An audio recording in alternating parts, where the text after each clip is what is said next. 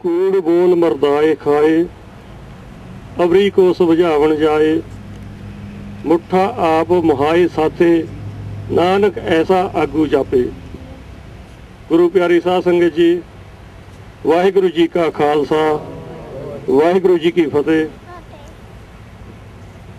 ਜਦੋਂ ਮੈਂ ਸਿੱਖ ਕਰਜ ਸੁਸਾਇਟੀ ਵਿੱਚ ਜਨਰਲ ਸਕੱਤਰ ਦੀ ਸੇਵਾ ਨਿਭਾ ਰਿਹਾ ਸਾਂ, ਉਸ ਟਾਈਮ ਸਰਦਾਰ ਪ੍ਰਵਿੰਦਰ ਸਿੰਘ ਜੀ ਸੋਚ, ਵੀਰ ਮੱਖਣ ਸਿੰਘ ਜੀ ਸਾਡੇ ਕੋਲ ਪਹੁੰਚੇ ਸਨ। ਇਹਨਾਂ ਨੇ ਸਾਨੂੰ ਦੱਸਿਆ ਸੀ ਵੀ ਜੋ ਗੁਰਦੁਆਰਾ ਸਿੱਖ ਸੰਗਤ ਸੰਗਤੋਂ ਰੋਚੈਸਟਰ ਉਹ ਸੰਗਤ ਦਾ ਗੁਰਦੁਆਰਾ ਹੈ। ਸੰਗਤ ਦੇ ਇੱਕ ਇੱਕ ਡਾਲਰ ਦੇ ਇਕੱਤਰ ਕਰਕੇ ਬਣਾਇਆ ਗਿਆ ਹੈ। ਇਹਦੇ ਵਿੱਚ ਜੋ ਦੋ ਮੁੱਖ ਮਸਲੇ ਹਨ। ਜੋ ਕਿਰਪਾਨ ਦਾ ਮਸਲਾ ਹੈ, ਉਹ ਇਕੱਲੇ ਵੀ ਕਿਸੇ ਗੁਰੂ ਘਰ ਦਾ ਨਹੀਂ ਹੈ, ਉਹ ਸਾਰੇ ਸਿੱਖ ਕੌਮ ਦਾ ਹੈ।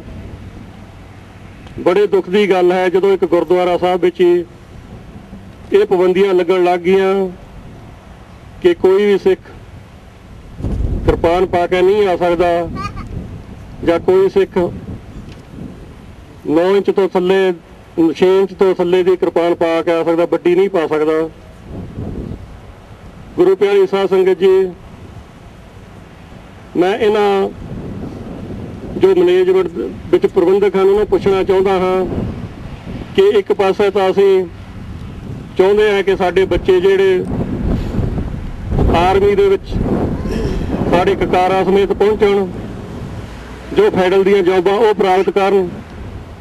ਅਸੀਂ ਉਹਨਾਂ ਲਈ ਸੰਘਰਸ਼ ਲੜ ਰਹੇ ਹਾਂ। ਪਰ ਅੱਜ ਇੱਕ ਬਹੁਤ ਦੁੱਖ ਦੀ ਗੱਲ ਹੈ ਕਿ ਸਿੱਖ ਨੂੰ ਇੱਕ ਗੁਰਦੁਆਰਾ ਸਾਹਿਬ ਵਿੱਚ ਹੀ ਕਿਰਪਾਨ ਦੇ ਜੋ ਇਹ ਸਹਿਜ 6 ਇੰਚ ਦਾ ਕਰ ਰਹੇ, ਉਹਦੇ ਸੰਬੰਧੀ ਲੜਨਾ ਪੈ ਰਿਹਾ ਹੈ।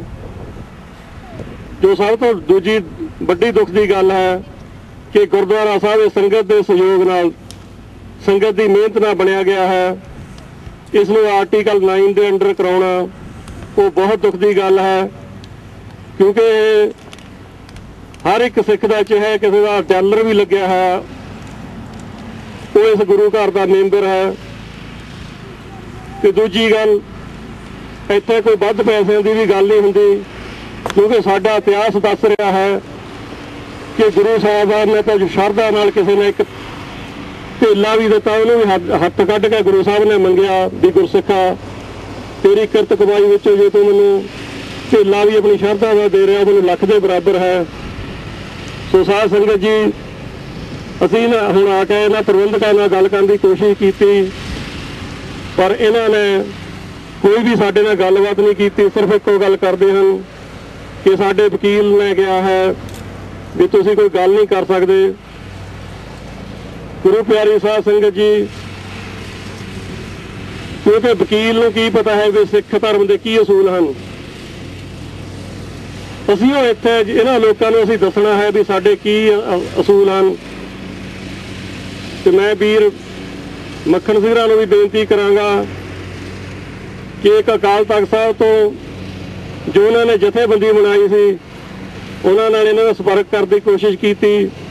ਉਹਨਾਂ ਨੂੰ ਵੀ ਕਾਲਾਂ ਕੀਤੀਆਂ ਵੀ ਭਾਈ ਆਓ, ਜੇ ਤੁਹਾਨੂੰ ਅਕਾਲ ਤਖਤ ਸਾਹਿਬ ਵੱਲੋਂ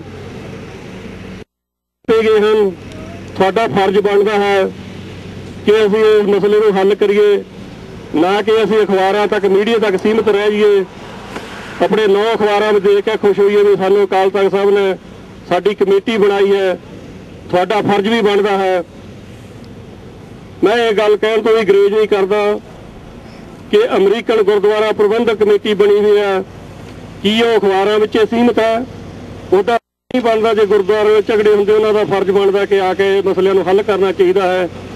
ਨਾ ਕਿ ਇੱਕ ਕਿਸੇ ਇੱਕ ਧਿਰ ਦਾ ਮਸਲਾ ਹੈ, ਇਹ ਇੱਕ ਸਿੱਖ ਕੌਮ ਦਾ ਮਸਲਾ ਹੈ। ਇਸ ਨੂੰ ਅਸੀਂ ਜੇਕਰ ਇਹਨਾਂ ਨੇ ਕੋਈ ਮੌਜੂਦਾ ਜੋ ਪ੍ਰਬੰਧਕ ਹਨ, ਕੋਈ ਚੰਗਾ ਰਿਸਪੌਂਸ ਨਾ ਦਿੱਤਾ, ਅਸੀਂ ਕੋਸ਼ਿਸ਼ ਕਰਾਂਗੇ ਵੀ ਸਮੂਹ ਪੰਥਕਦਾਰ ਦੀ ਇਕੱਠੇ ਹੋ ਕੇ ਇੱਥੇ ਹਰੇਕ ਐਤਵਾਰ ਨੂੰ ਚਾਹੇ ਸਾਨੂੰ ਆਉਣਾ ਪਵੇ, ਅਸੀਂ ਪਹੁੰਚਾਂਗੇ। ਤੇ ਤੁਹਾਨੂੰ ਸੰਗਤ ਨੂੰ ਵੀ ਬੇਨਤੀ ਹੈ ਕਿ ਤੁਸੀਂ ਗੁਰਦੁਆਰਾ ਸਾਹਿਬ ਜ਼ਰੂਰ ਜਾਓ। ਜੇਕਰ ਆਪਾਂ ਇਸਨੂੰ ਜਾਵਾਂਗੇ ਨਹੀਂ, ਉਹਨਾਂ ਨੂੰ ਹੋਰ ਵੱਧ ਤੋਂ ਵੱਧ ਮੌਕਾ ਮਿਲੇਗਾ। ਤੁਸੀਂ ਪਰਿਵਾਰਾਂ ਸਮੇਤ, ਬੱਚਿਆਂ ਸਮੇਤ ਜਾਓ। ਠੀਕ ਹੈ ਜੇਕਰ ਕਿਸੇ ਸਿੰਘਾਂ ਦੇ ਉਹਨਾਂ ਨੇ ਨੌ ਦਿੱਤੇ ਹੋਏ ਹਨ, ਉਹ ਨਹੀਂ ਜਾ ਸਕਦੇ, ਕੋਈ ਗੱਲ ਨਹੀਂ। ਪਰ ਤੁਸੀਂ ਵੱਧ ਤੋਂ ਵੱਧ ਜਾਓ, ਕਿਉਂਕਿ ਤੁਹਾਡਾ ਇਹ ਅਧਿਕਾਰ ਹੈ, ਇਸ ਨੂੰ ਕੋਈ ਰੋਕ ਨਹੀਂ ਸਕਦਾ ਗੁਰਦੁਆਰਾ ਸਾਹਿਬ ਜਾਣ ਤੋਂ। ਤੇ ਬੱਚਿਆਂ ਨੂੰ ਵੱਧ ਤੋਂ ਵੱਧ ਲੈ ਕੇ ਜਾਓ। ਆਪਣੇ ਬੱਚਿਆਂ ਨੂੰ ਦੱਸੋ, ਉਹਨਾਂ ਨੂੰ ਸਮਝਾਓ ਵੀ ਕਿਰਪਾਨ ਜੇ ਸਾਡਾ ਇਹ ਸਿੱਖੀ ਦਾ ਅਟੁੱਟ ਚਿੰਨ ਹੈ, ਅੰਗ ਹੈ ਸਿੱਖ ਸਿੱਖ ਇਹਦੇ ਬਿਨਾ ਨਹੀਂ ਰਹਿ ਸਕਦਾ। ਦੂਜੀ ਗੱਲ ਮੈਂ ਇਹ ਵੀ ਦੱਸਣਾ ਚਾਹੁੰਦਾ ਕਿ ਕਈ ਵੀਰੇ ਭੁਲੇਖੇ ਵਿੱਚ ਵੀ ਇਹ ਇੱਕ ਚਿੰਨ ਹੈ, ਨਹੀਂ ਚਿੰਨ ਨਹੀਂ ਹੈਗਾ। ਇਹ ਸਾਨੂੰ ਗੁਰੂ ਸਾਹਿਬ ਜੀ ਨੇ ਸਾਡੀ ਸੇਫਟੀ ਵਾਸਤੇ ਦਿੱਤਾ ਹੈ, ਨਾ ਕਿ ਕਿਸੇ ਤੇ ਅਟੈਕ ਕਰਨ ਲਈ ਦਿੱਤਾ ਹੈ। ਜੇ ਕਹਤਾ ਪੁਲਿਸ ਮੁਲਾਜ਼ਮ ਹੈ ਉਹ ਵੀ ਪਿਸਤਲ ਪਾ ਕੇ ਰੱਖਦਾ, ਉਹ ਕਦੇ ਵੀ ਕਿਸੇ ਦਾ ਜਦੋਂ ਤੱਕ ਉਹਨੂੰ ਖਤਰਾ ਨਾ ਹੋਵੇ ਵੀ ਇਹ ਮੈਨੂੰ ਮਾਰ ਦੇਵੇਗਾ। ਸੋ ਸਾਨੂੰ ਇਹਨਾਂ ਨੂੰ ਵੀ ਇਹ ਦੱਸਣਾ ਪਊਗਾ ਵੀ ਇਹ ਸਾਡੇ ਡਿਫੈਂਸ ਵਾਸਤੇ ਹੈ। ਸਾਨੂੰ ਗੁਰੂ ਸਾਹਿਬ ਨੇ ਦਿੱਤਾ ਹੈ। ਜਦੋਂ ਮੁਸਲਮਾਨ ਰਾਜ ਕਹਿ ਕਿਹਾ ਸੀ ਹਿੰਦੁਸਤਾਨ ਵਿੱਚ, ਸਾਨੂੰ ਹਥਿਆਰ ਚੱਕਣ ਤੇ ਪਾਬੰਦੀ ਲਾਈ ਹੋਈ ਸੀ। ਸਾਨੂੰ ਗੁਲਾਮ ਬਣਾਇਆ ਹੋਇਆ ਸੀ। ਉਸ ਟਾਈਮ ਕਿਉਂਕਿ ਜਿਸ ਕੰਟਰੀ ਵਿੱਚ ਆਪਾਂ ਰਹਿ ਰਹੇ, ਇਹਨਾਂ ਨੇ ਸਾਨੂੰ ਫ੍ਰੀडम ਦਿੱਤੀ ਇਸ ਦੀ ਸਪੀਚ ਦੀ। ਸੋ ਆਪਾਂ ਇਸ ਕਾਨੂੰਨ ਦੇ ਵਿੱਚ ਹੀ ਰਹਿ ਕੇ ਆਪਣੇ ਕਾਨੂੰਨ ਨੂੰ ਫੋਲੋ ਕਰੀਏ। ਜੇਕਰ ਤੁਸੀਂ ਧਿਆਨ ਨਾਲ ਦੇਖੋਗੇ, ਜੋ ਸਾਡੇ ਸਿੱਖ ਸੰਵਿਧਾਨ ਵਿੱਚ ਲਿਖਿਆ ਗਿਆ ਹੈ ਯੂਐਸਏ ਦੇ ਸੰਵਿਧਾਨ ਵਿੱਚ ਵੀ ਸੇਮ ਉਹੀ ਆਜ਼ਾਦੀਆਂ ਦਿੱਤੀਆਂ ਗਈਆਂ ਹਨ। ਸਾਡਾ ਇਹ ਸੰਵਿਧਾਨ ਦੇ ਨਾਲ ਬਹੁਤ ਨਿੱਘਾ ਰਿਸ਼ਤਾ ਹੈ।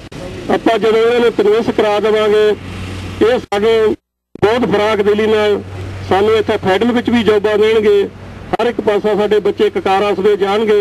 ਇਹ ਗੁਰਦੁਆਰਾ ਤਾਂ ਹੈ ਉਹ ਸਿੱਖਾਂ ਦਾ। ਇਸ ਲਈ ਫਿਰ ਨਿਮਰਤਾ ਸਾਹਿਬ ਬੇਨਤੀ ਹੈ ਕਿ ਅਸੀਂ ਤੁਹਾਡਾ ਡਟ ਕੇ ਸਾਥ ਦੇਵਾਂਗੇ। ਵਾਹਿਗੁਰੂ ਜੀ ਕਾ ਖਾਲਸਾ, ਵਾਹਿਗੁਰੂ ਜੀ ਕੀ ਫਤਿਹ।